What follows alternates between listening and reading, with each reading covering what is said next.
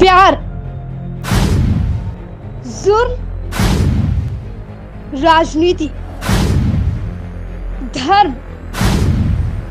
समाज से जुड़ी हर खबर पर पैनी नज़र। स्वागत है आपका उत्तर प्रदेश की खास खबरों में। मैं हूँ आपके साथ फरजाना।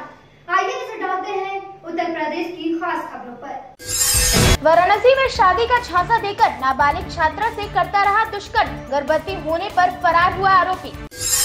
मेरठ में पुलिस ने एक साथ खोली सौ अपराधियों की हिस्ट्री शीट, भाजपा सपा और बसपा के कार्यकर्ता भी शामिल। कानपुर में सामूहिक दुष्कर्म, पीड़िता ने की खुदकुशी। एसएसपी ने इंस्पेक्टर व चौकी प्रभारी समेत चार को निलंबित किया। रूस के दौरे पर आज रवाना होंगे योगी।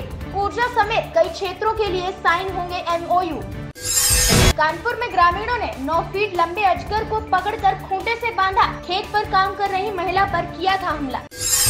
बागपत में पुलिस मुठभेड़ में एक लाख का इनामी बदमाश ढेर बनारस में शातिर शूटर गिरफ़्तार। बच्चे की हत्या के मामले में पड़ोसी गिरफ़्तार। दुष्कर्म का प्रयास असफल रहने पर दबाया गला।